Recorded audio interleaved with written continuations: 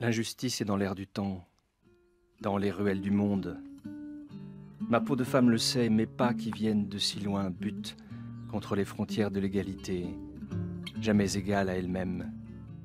Les conditions de vie oubliées au bas de l'escalier, le discours si mélodieux, qui ouvre les yeux autour de moi, l'humain exclu des merveilles de l'humanité.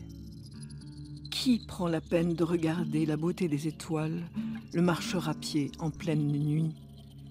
Je découvre la vérité du monde, inégale, fissuré, fêlé, lézardé, le monde que je n'ai jamais imaginé à mes risques et périls, ni plus beau ni plus laid.